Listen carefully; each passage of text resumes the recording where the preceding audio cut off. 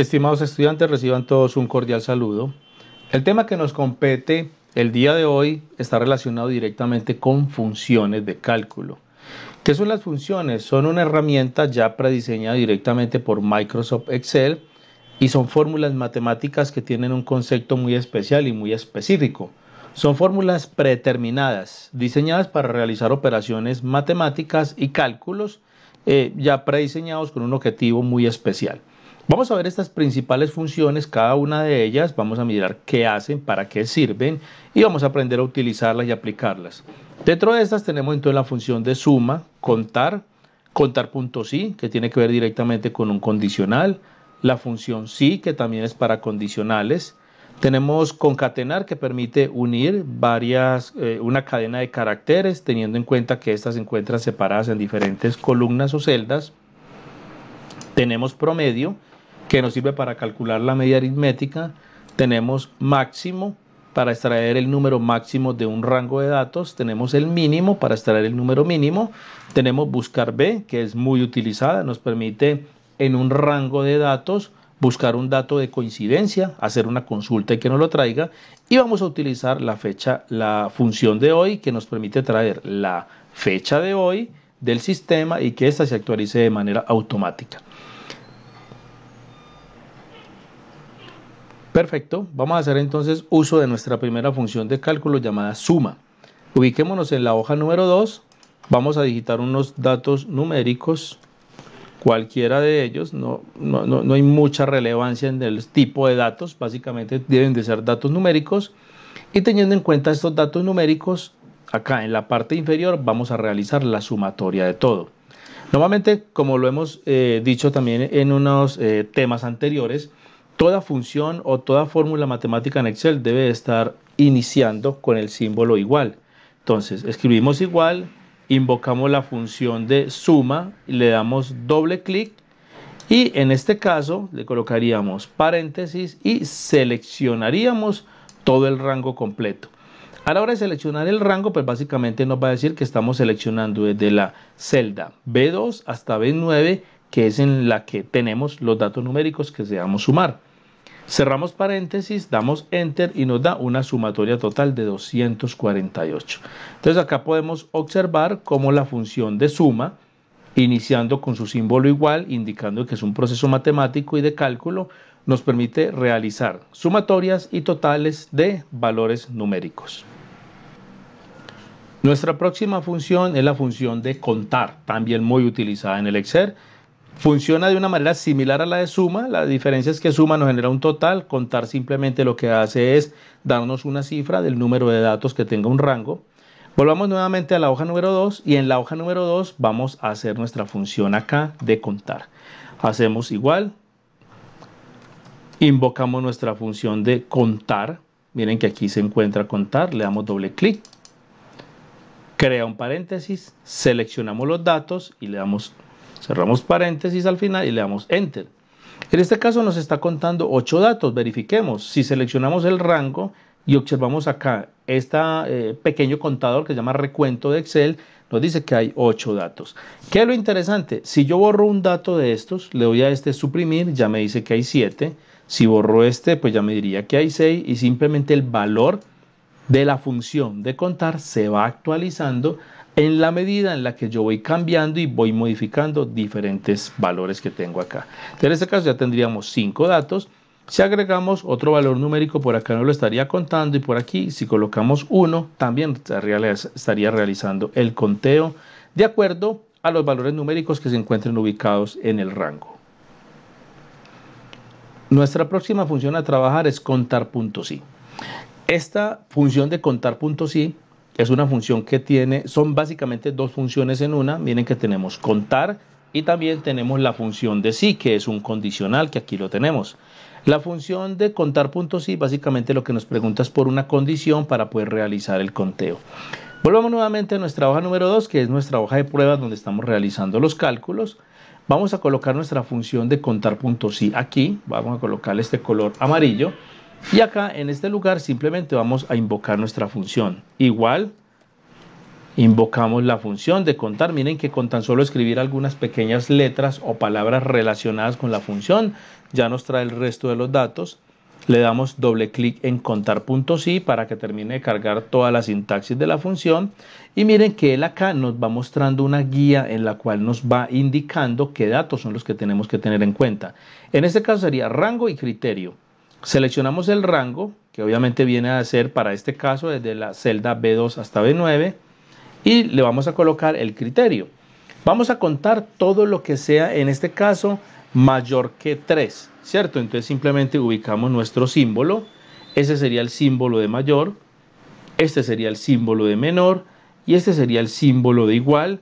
Y si queremos decir números diferentes de, podemos utilizar el menor y el mayor y esto para Excel indicaría que son números diferentes. En este caso démosle el símbolo mayor y le vamos a decir que nos ubique todos los que son mayores para este caso a 3. Teniendo en cuenta nuestro criterio para la creación de la fórmula, colocaríamos, de acuerdo a lo que comprendemos inicialmente como fórmula, colocarle que todos los que sean mayores a 3. En ese caso digitaríamos 3. Es muy sencillo. Cuénteme dentro del rango que va desde B2 hasta B9 todo lo que sea mayor a 3. Para este caso en especial, a la hora de ubicar este rango, pues debería de realizar la, operación de manera correcta. Si le damos Enter, nos vamos a dar cuenta que nos va a sacar un error y nos dice, hubo un problema con esta fórmula, eh, no intente introducir una fórmula. Cuando el primer carácter es un signo igual, pues de aquí nos da una eh, especie como de guía indicándonos de que la fórmula está mal escrita. Pero realmente esto que nos está indicando es que este condicional, esta última parte tiene que ir entre comillas dobles. Debemos de colocar comillas dobles encerrando la condición para que Excel pueda identificar que esto no es un valor numérico con el cual va a trabajar, sino que es una condición que se aplica directamente a este rango. Si le damos Enter, automáticamente nos cuenta 5. Vamos a ver si aquí hay 5 valores que sean mayores que 3. Por este lado hay 1, 2, 3, 4 y 5. Miren que estos valores no cumplen el, eh, el criterio con el cual estamos realizando la operación de la función. Si nosotros cambiamos uno de estos tres y le colocamos 11, acá nos dice de que valores dentro de este rango que sean mayores a 3, habrían en este caso 6 valores. Nosotros podríamos cambiar esto y decir, venga, cuénteme los valores que son menores a 3. Si le damos menores a 3, solo hay uno. ¿Y cuál va a ser? Este 1 que tenemos acá. Si nosotros colocáramos 2 por acá arriba, pues aquí nos diría que hay dos valores que cumplen con ese criterio. Entonces, estimados estudiantes, contar puntos sí, una fórmula, una función para este caso supremamente importante para utilizar condicionales y poder realizar ese conteo en especial. Muy bien, ingenieros. Nuestra próxima función es sí, es una también de las más utilizadas en Excel y esta está directamente relacionada con condicionales. Vamos a hacer entonces aquí un condicional. Vamos a, borrar estos datos. Vamos a colocar estos datos por acá, los vamos a suprimir. Vamos a colocarle un poquito más de zoom a esto para que podamos observar muy bien eh, cómo funciona, cómo opera esta función de sí. Vamos a colocar aquí un dato en especial, coloquemos 60 y 60 de una vez, una cifra numérica, y aquí vamos a colocar un sí. Ese sí que vamos a colocar acá nos va a arrojar dos valores, si es positivo o si es negativo, en este caso es si es verdadero o si es falso. Vamos a preguntar que si este número 60, si este, esta celda, perdón, no el 60, sino la celda, si el contenido de esta celda es mayor que 60, quiero que me coloque máximo, la palabra máximo. Y si es menor o si es todo lo contrario, que me coloque mínimo. Entonces vamos a hacer el proceso. Simplemente damos igual, seleccionamos la celda, perdón, en este caso sería igual y seleccionamos la función que sería sí. Cuando seleccionamos la función sí, simplemente seleccionamos la celda y vamos a preguntarle que si el valor de esa celda, ¿cierto? Es mayor, pero para este caso tendríamos que colocarlo dentro de comillas dobles.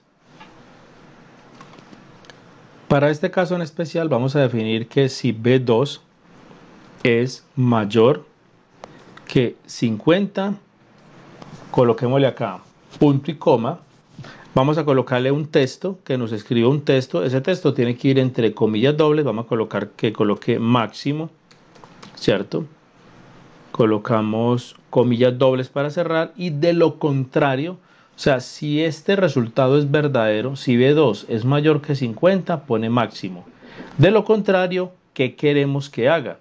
Que coloque mínimo. Entonces vamos a escribir la palabra mínimo lo colocamos dentro de comillas dobles y cerramos paréntesis. En este caso nos dice máximo, ¿cierto? Entonces, ¿qué nos va a decir acá?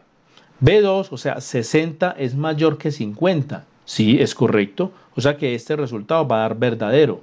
Al dar verdadero, miren que aquí dice valor, si es verdadero, nos estaría dando máximo. De lo contrario, nos estaría dando mínimo, ¿cierto? Si aquí colocamos otro valor, pues vamos a cambiar este. Eh, coloquémosle, no sé, 90. Si le colocamos 90, la condición se sigue cumpliendo, ¿cierto? Aquí estamos diciendo, B2 es mayor que 50, o sea, 90 es mayor que 50, es correcto, entonces está colocando máximo. Si colocamos un valor más bajito de 50, que en este caso sería 45, observemos el condicional, cómo reacciona, dice mínimo. ¿Por qué? Porque si validamos esta condición, estaríamos diciendo que si B2 que en este caso 45 es menor que 50, claro que se da. ¿Y qué se está dando? Se está dando de que es verdadero. Mínimo sería el valor que él estaría colocando directamente. Entonces, esta sería una de las operaciones básicas que podemos hacer con el sí. Podemos preguntar también por nombres, podemos preguntar por diferentes tipos de conceptos para poder arrojar un resultado esperado. Vamos a trabajar con la función concatenar. Concatenar permite unir varias eh, textos o valores numéricos o como de, estemos necesitando que estén en celdas totalmente independientes y luego unirlos en una sola eh, cadena de caracteres. Voy a eliminar estas celdas. Una de las formas de eliminar estos rangos o celdas simplemente vamos a seleccionar desde la parte de arriba donde están las columnas. Le doy clic derecho en este caso le daría eliminar. Voy a colocar primero acá un dato. Voy a escribir la palabra Carlos. Voy a escribir acá eh, Alonso. Y aquí voy a escribir un apellido. Para este caso estaríamos escribiendo eh, Cardona.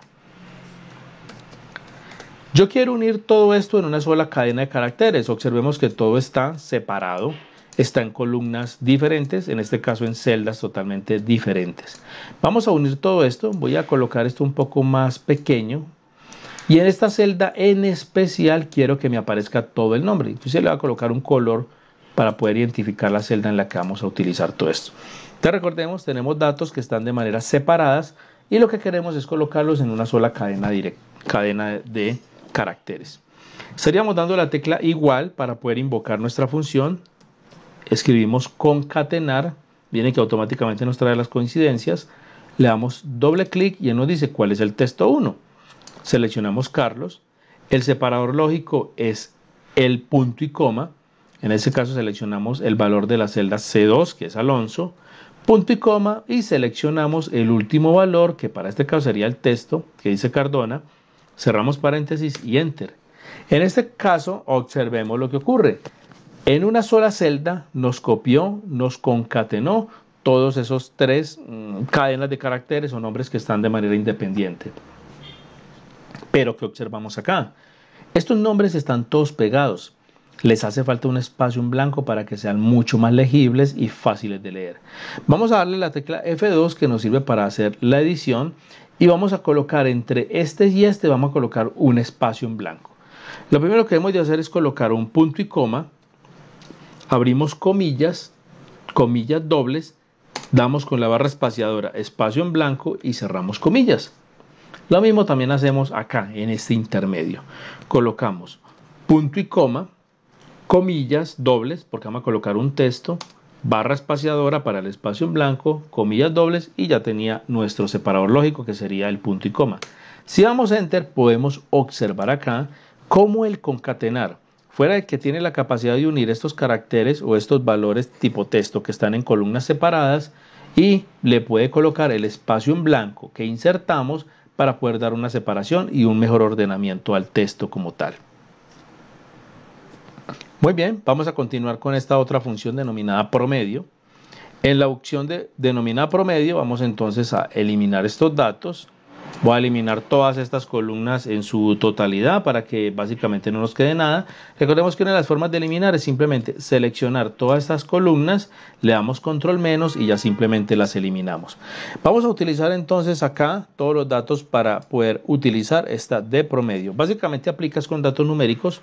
Escribamos acá 34, 56, 78, 90 y escribamos un último valor llamado 45. Queremos sacar la media de todo esto. Recordemos que la fórmula de la media es la sumatoria de todos los x sub i, que serían estos valores, esa sumatoria dividido sobre n. ¿Qué es n? El número de valores que yo tenga dentro de este rango numérico. En este caso, pues tendríamos 5 valores. Pero hay una función en Excel que hace todo esto de manera automática. Vamos a ubicarnos acá debajo de la, de la rango de datos, igual invocamos la función que se llama promedio, le damos doble clic y seleccionamos el rango. Seleccionamos el rango que para este caso iría desde B2 hasta B6, cerramos paréntesis, damos enter y ¿qué nos está diciendo? Que el promedio o más bien conocido como media aritmética de este rango de datos numéricos es 60.6. Una fórmula muy utilizada en términos de estadística para hacer cálculos eh, que nos permite siempre sacar como ese punto intermedio entre la dispersión de varios valores o en este caso mm, varios datos numéricos de manera aleatoria. Muy bien, hagamos uso entonces de esta otra función llamada máximo. Máximo lo que permite es extraer el valor máximo de una cadena de datos numéricos. Para este caso, pues vamos a utilizar los datos que tenemos dentro de este rango. Va a ubicar una celda por acá, esta en especial, para poder hacer los cálculos y hacer la operación que realmente deseamos hacer. Para este caso, extraer el valor máximo de esa línea de datos numéricos que tenemos ahí. Muy bien, en esa celda que tenemos en color amarillo vamos a ubicar la fórmula. Invocamos con el símbolo igual la fórmula es max, MAX. Le damos doble clic, simplemente seleccionamos el rango, cerramos en este caso los paréntesis y le damos enter. Para este caso nos dice 90, que el valor máximo que tenemos acá es 90. Si escribiéramos un valor mucho más grande que 90, en este caso digamos 345, le damos enter, lo que hace es de esa cadena o de ese rango de valores numéricos extrae el valor máximo, que para este caso sería 345. Muy bien, vamos a trabajar entonces con la función llamada mínimo.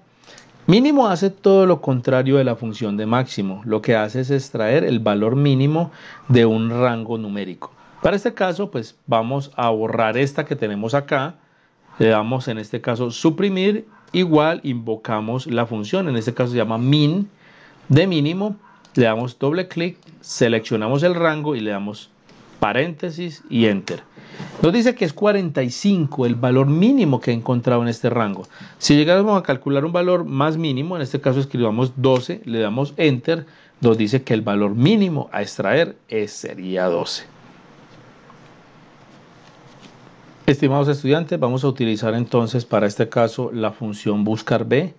Es una también de las funciones más utilizadas en el Excel porque permite realizar una consulta a una tabla o una base de datos y extraer algún valor que nosotros vayamos a necesitar. Se llama buscar V porque realmente lo que hace es una búsqueda vertical, o sea, en una columna. También hay una que se denomina buscar H, que en ocasiones se utiliza poco, pero esa lo que buscaría sería horizontalmente, en ese caso en una fila. Vamos a utilizar entonces buscar B, que termina siendo una de las funciones de mayor uso. Vamos a ubicarnos en la hoja número 2.